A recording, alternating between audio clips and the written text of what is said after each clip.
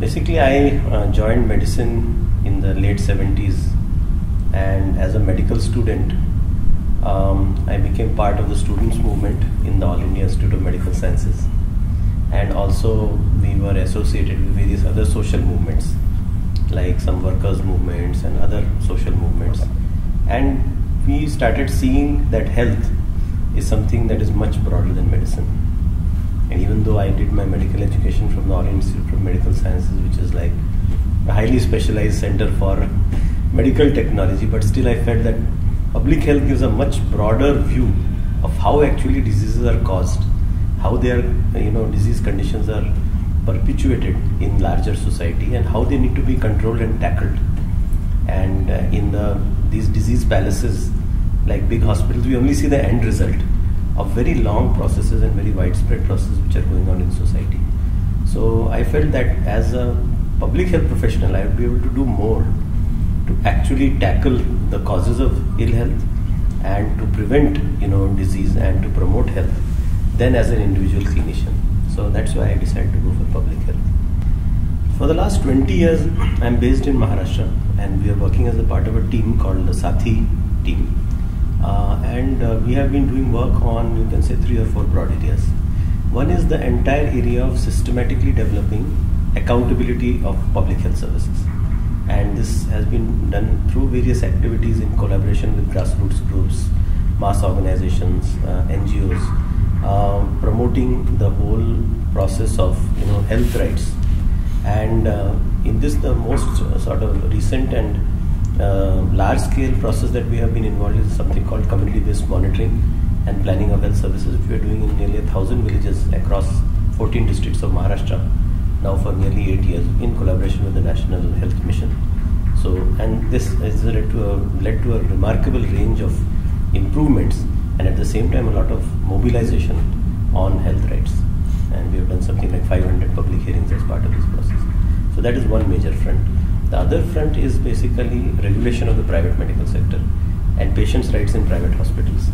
Because in our country, 70 to 80 percent people go to private health facilities and there's almost no regulation, very little accountability, and very few groups are working on this. So actually, this is an important area where we're working on one hand with community groups to raise awareness about patients' rights, and on the other hand with doctors in the private sector who are uncomfortable with what is happening right now irrational care, unnecessary procedures, malpractices, overcharging, and building a constituency of rational doctors also.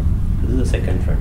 The third is working on nutrition and community nutrition, which, as you know, is a key social determinant of health, and where we have been doing something called community-based monitoring and action to improve child nutrition in Maharashtra.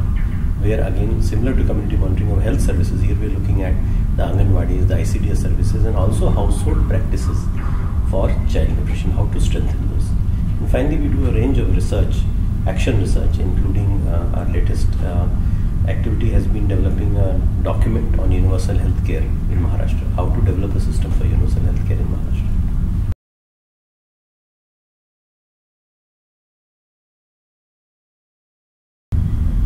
See, actually, I would like to make a qualification that what is usually called the SDH approach often tends to be somewhat limited to just a listing of the factors like water supply, sanitation, nutrition, food security, environment, etc. etc. And of course, that is the first level. But I would say that we should move beyond that and look at social determination of health, which is beyond just social determinants. When we talk of social determinants, it appears as if all of these are like you know some random, you know, just list of factors. All of these and many more are there's a cause behind the causes. So water supply, sanitation, nutrition, food security, environment, etc. These are the cause for ill health. But there is a cause that is behind these causes.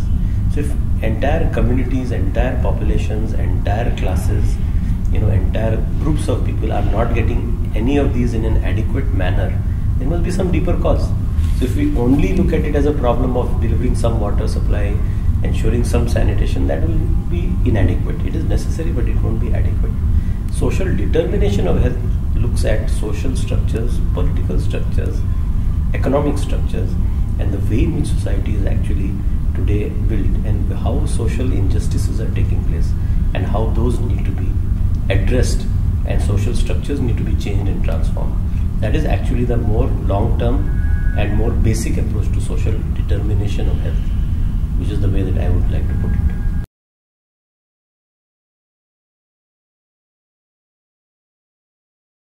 In my view, in the Indian context, work on SDH actually in practice has been very weak. In the public health system, there is some lip service that is paid to it. If you look at any document, you will find some mention like in the NHM or even in the health policy documents. But um, if you look at two things, A, uh, what kind of human power is the public health system devoting to ensuring social determinants of health? And you will have to look at with a microscope to find any official or any staff that is dedicated to social determinants of health. So you can say, okay, maybe some of the things that an MPW does are relating to drinking water quality and you know maybe a few other things, but actually we don't have a dedicated cadre is addressing social determinants of health in the public health system. And similarly, what proportion of the health budget is, or any you know budget is related to social determinants of health? Almost nil. There is a clear way in which this can be done, and that is through uh, having public health officers, through having uh, you know essential public health functions being carried out by the public health system, where the public health system should monitor what is happening to water supply, what is happening to nutrition in different communities, in different areas, uh, what is the state of environment, and then feeding this information to the relevant departments in a kind of empowered accountability platform. If that is done, then SDH can be addressed. If there is no human power, no budget, no structure, and it's just a you know declaration in a vague declaration in policy documents, not much is going to happen. And frankly speaking, until now in our country, actual action on the ground has been very limited.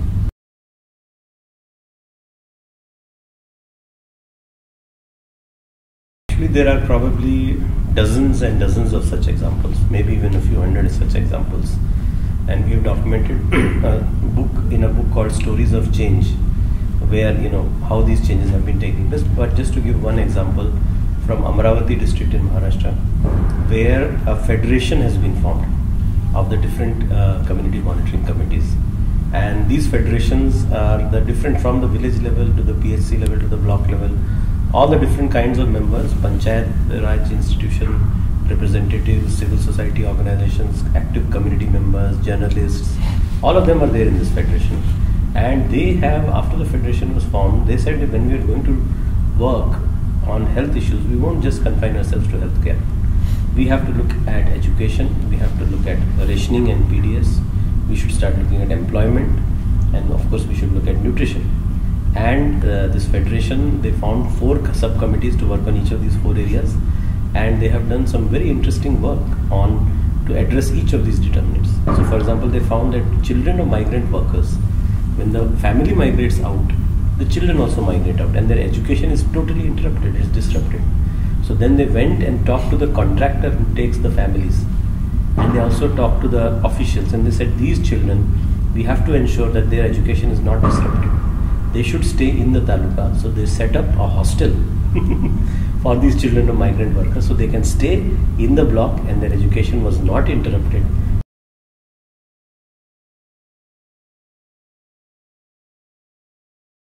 So first of all, look beyond the obvious. Don't just confine yourself to what is written in the textbook or what is told that you know this is a list of social determinants of health. Think beyond. Think deeper. Why is all this like this? Why is it not different?